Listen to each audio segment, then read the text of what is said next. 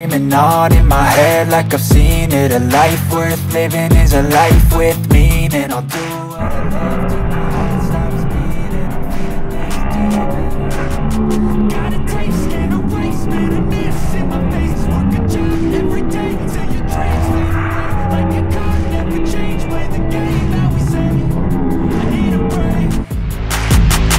Time staying strong, need to move on to be what I want. I'll keep dreaming on. I'm staying strong, need to move on to be what I want. I'll keep dreaming on.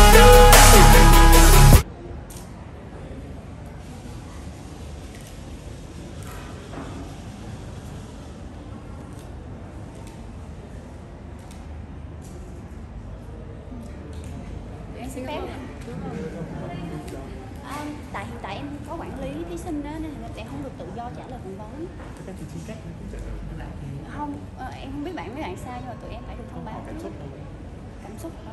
kiểu lòng bài tóc bạn thôi thì nó chung chung mà nó có gì đâu. nó chung em ngại quá thật sự ngại. Em rất là em rất là quý anh chị báo chí nhưng mà kiểu là em đang là thí sinh đó nên mọi lời nói hay phát ngôn đều cần phải có quản lý thí sinh kiểm soát và chương trình kiểm soát đó nên thành ra là em cảm ơn mọi người yêu quý rất là nhiều. Nhưng mà à, nói ít lời thì em sẽ cố gắng hết sức để hoàn thành tốt cái chặng đua này và mang đến cho mọi người à, bằng tất cả sức lực của em mà một hành trình đáng nhớ. Xin cảm ơn mọi người. Cổ vũ cho Gia Lai nha. Em xin phép đi.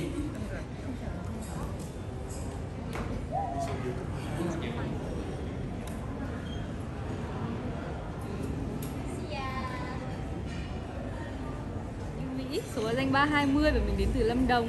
Hiện tại thì mình à, đang theo học tại Học viện Tư pháp Thành phố Hồ Chí Minh và song song là hoạt động người mẫu. mình mình thấy bạn có cái mái tóc số rất ấn tượng mình có thể chia sẻ cái mái tóc của mình? À, Ờ, về mái tóc của mình thì ờ, thì ờ, đây là một điều khá là đặc biệt từ mình thì đây là mái tóc thật của mình và mình không không qua làm tóc tác động vật lý nên tóc của mình. Thì đây là mái tóc mình được thừa, thừa hưởng từ bố của mình.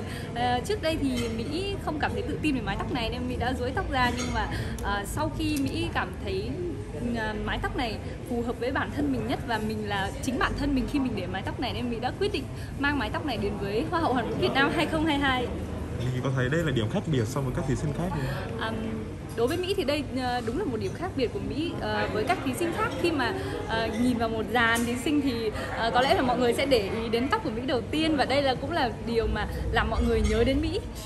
to those 70.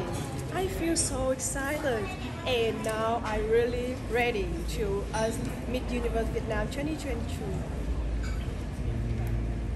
Em chuẩn bị tinh thần những gì và như thế nào để mình tiếp tục vào những vòng tiếp theo? Tinh thần.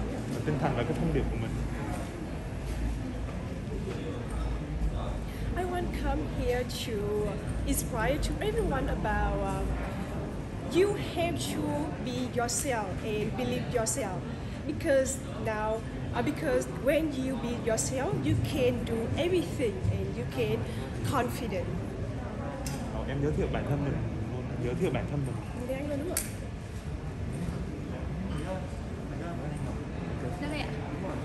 Hello everyone, my name is Quỳnh Hoa. I'm 24 years old. I'm from Hanoi. Now I am freelance model and CEO of Hana Coffee, a company about roasting the coffee bean and production. I hope to everyone can uh, vote to support me at Mid Universe Vietnam. Hà you. có nghĩ là cái hình tượng siêu mẫu của mình trước đây á sẽ là một cái cản trở cho mình khi mà mình tham gia vì mình bị ờ, bị mọi người ờ, áp đặt vào cái hình ảnh đó đó. Ờ, ờ, với Quỳnh thì ờ, những cái những cái điều đấy thì chắc chắn là có rồi Ờ, nhưng mà mình cảm thấy là khi mà mọi người càng có những cái suy nghĩ càng muốn mình thay đổi càng muốn mình có một cái điều gì khác lại thì điều đấy thực sự là tốt cho bản thân Quỳnh Hoa bởi vì là ờ, Quỳnh Hoa sẽ luôn luôn lắng nghe tất cả các bạn những cái lời khuyên tốt nhất để Quỳnh Hoa có thể ờ, hoàn thiện bản thân mình hơn và tỏa sáng hơn tại hành trình này. Cảm, cảm ơn. khi gặp lại Ngọc Châu và Hương Ly cùng là quán quân top thì các bạn đã có những cái phần ờ, mình sẽ đối đầu nhau như thế nào? Cảm xúc của bạn như thế nào khi khi mà phải đối đầu với các bạn cùng cái danh hiệu. Ờ, đối thủ như Ngọc Châu và Hương Ly rất là mạnh và tất cả các bạn thí sinh đây đều như vậy thì chứng tỏ rằng Hoa hậu Hoàn Vũ Việt Nam là một cuộc thi vô cùng uy tín. Và oanh cảm thấy không có gì lo sợ cả tại vì oanh và châu và ly bọn oanh đều có những giá trị và cái lý tưởng một cái mục tiêu rõ ràng khác nhau. Và oanh tin rằng oanh và châu và ly sẽ cùng tỏa sáng với nhau. Hôm trước thì uh, ngọc à, bạn thì bạn cũng đã có cái phần uh, tiếng anh nhưng mà mọi người rất là tư có buồn hay là như thế nào Ờ, buồn trang đến từ là bị em anh không có buồn. Anh sẽ tiếp nhận những cái lời góp ý của khán giả. Anh sẽ cần cải thiện hơn. Và tiếng anh của anh thì anh biết rằng nó không phải là cái ngôn ngữ của bản thân mình. Nhưng anh cảm thấy rằng mình đã cố gắng rất là nhiều trong thời gian qua để nỗ lực, để thay đổi. Và anh tự tin rằng anh nói chuyện và các bạn khán giả hoặc là những anh chị có thể hiểu anh đó là cái điều mà anh cảm thấy ổn rồi hiện tại Nhi cũng cảm thấy rất là vui và cũng phấn khích với cái, cái hành trình hiện tại của Nhi. Uhm, lần này lần đầu tiên của Nhi mà trong cuộc sống của Nhi thi hoa hậu hoàn vũ. Và nó là một hành trình rất là đặc biệt và rất là khác biệt với cả tất cả những cái gì mà trước đây Nhi làm và trước đây Nhi trải nghiệm. Nhi thật sự Nhi học hỏi vô cùng nhiều thứ và nhiều kỹ năng mới và cũng hoàn thiện bản thân mình từ từ và từ từ. Và Nhi mong là trên hành trình này Nhi còn có thể hoàn thiện bản thân nhiều hơn nữa và mong là Nhi sẽ làm tốt nhất có thể để mong chả mong là mọi người sẽ kiểu ủng hộ Nhi nữa để Nhi làm tốt hơn. Để tại vì thật ra thì Nhi là một người vốn dĩ rất là dễ để gần gũi với mọi người Nhi cũng là một người là rất kết nối với cả tất cả mọi người xung quanh Nhi. Thì đối với Nhi thì hiện tại Nhi không có vấn đề gì hết và Nhi thấy mọi người rất là tất cả rất là dễ thương ủng hộ Nhi bên cạnh Nhi và nâng niu Nhi như em bé luôn và Nhi rất là thương các bạn thí sinh khác luôn và mong là hành trình này các bạn mình sẽ các cô gái sẽ thành bạn luôn. Vậy thì Nhi mất bao nhiêu lâu thời gian để tập luyện để chuẩn bị cho cái chương trình này và nó chuẩn bị như thế nào? Uh, Nhi nghĩ là Nhi mất cho cái hành trình này để chuẩn bị khoảng tầm 4 đến 5 tháng. Tại vì thật ra thì mọi người biết là Nhi là người Việt Kiều thì tiếng Việt Nam của Nhi không có thể không có thể giỏi được bằng bằng thí, thí sinh khác và thứ hai nữa Nhi cũng là không phải là người mẫu chuyên nghiệp. Thì vì thế nói về kỹ năng catwalk của Nhi thì Nhi phải học rất là nhiều để có thể cải thiện được cái việc đó. Um, và yeah, cái đấy là không là hai cái mà mà Nhi phải cải thiện nhiều nhất là tiếng Việt Nam và catwalk nhưng Nhi mong là trong hành trình này với cả Miss Universe Việt Nam Nhi có thể hoàn thiện bản thân mình nhiều hơn được nữa. Thật ra Nhi cũng có chia sẻ rất nhiều về những áp lực mình gặp khi mà tham gia cuộc thi. Thì đến thời điểm hiện tại cái áp lực lớn nhất của Nhi gặp phải là Nhi nghĩ là đến đến hiện tại là cái áp lực lớn nhất với Nhi là thật sự là là bản thân Nhi ấy. Kiểu Nhi cảm giác là như trên hành trình này bản thân Nhi Nhi cho bản thân Nhi rất là nhiều áp lực. Tại vì Nhi muốn làm nó tốt nhất có thể. Như là một người cũng hơi cầu, cầu toàn một chút. Tại vì Nhi cũng muốn là tất cả những người mà yêu thương Nhi yêu mến Nhi cho Nhi rất là nhiều động lực để mọi người tự hào về Nhi. Thì nó cũng là một áp lực hơi nho nhỏ với Nhi. Thì Nhi mong là Nhi sẽ làm tốt tất cả mọi thứ. À, hiện tại thì chắc là cái việc mà Nhi có thể không tự tin nhất là có thể là ngôn ngữ tiếng Việt Nam của Nhi. Uh, Nhi luôn luôn cố gắng nói nói hay hơn để mọi người có thể uh, hiểu Nhi hơn. Nhi cũng là một thí sinh được đánh giá cao so với các thí sinh khác thì điều này nó có gây áp lực bạn kỳ vọng bạn. Thậm chí là dự đoán vào top 3 thậm chí gì ạ? Thậm chí là dự đoán Nhi có thể vào top 3 cuộc thi luôn Ồ.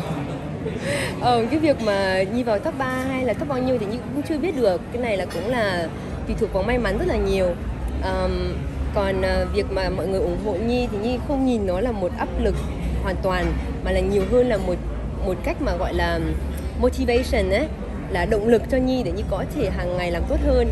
Và có rất là nhiều ngày mình rất là mệt mình cũng rất là áp lực rất là buồn vì vì những cái challenge. Nhưng uh, mình nhận đọc tin nhắn của mọi người đọc tất cả những cái comment mọi người cho Nhi rất là nhiều tình cảm cho Nhi động lực hàng ngày để Nhi có thể vượt qua được những cái ngày khó khăn thật ra thì đây không phải đây là cuộc thi đầu tiên mà Nhi tham gia về sắc đẹp nhưng uh, Thảo Nhi Lê không phải là một gương mặt mới đối với showbiz Việt các thì cái việc này có gây áp lực nhiều cho Nhi không và uh, Nhi trả lời mình bằng câu này bằng tiếng Anh cho VC tiếng Anh là Nhi có cảm thấy là khó khăn dù Nhi là một người quen thuộc rồi đúng không? Okay. Um, so I'm I'm known as a fashion and lifestyle influencer with over 500k followers on Instagram. I'm in this industry for for many years, and I think like um, internationally and also in Vietnam, many people know about me. And for, for myself, I think like Miss Universe is a super new journey. It's, it, it has nothing to do with what I did before. So for me, I don't feel like the pressure that people would think, oh, she's boring or something like that, because I believe I can bring a new wave of energy and something new to all the people. And I feel like right now everyone is supporting me so much and giving me so much love, and I'm gonna rock this. Thank you.